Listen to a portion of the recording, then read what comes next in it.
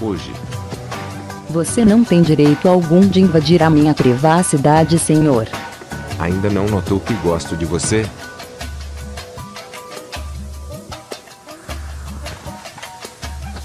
O que foi, Felipe? Sua mãe. A sua mãe me ligou e pediu para amanhã você ir bem cedo para a fazendas. Mas por quê?